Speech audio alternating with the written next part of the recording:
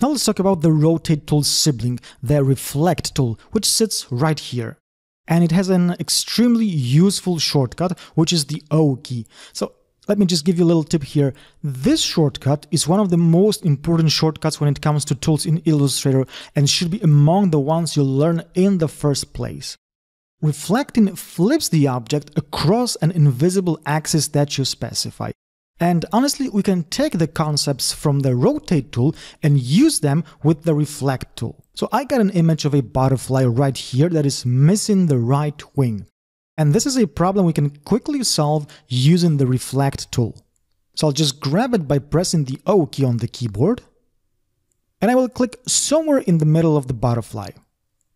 So what I can do right now is I can drag the left wing to the right and watch the transformation happen in relation to the invisible axis set up by the reference point. And if I press and hold on the Shift key, I'll constrain the transformation to 45 degree increments.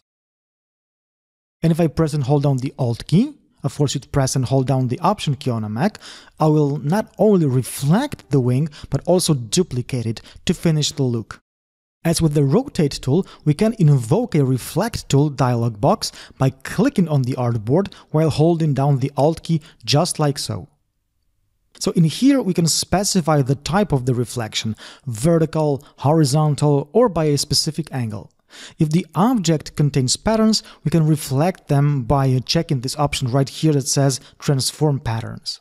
There are three ways of using the reflect tool to flip objects in relation to their own center points. If, uh, for any reason, I just want to flip the butterfly in relation to its own center point, I can just press the O key on the keyboard to initialize the reflect tool, and then press Enter to initialize the reflect tool options dialog box.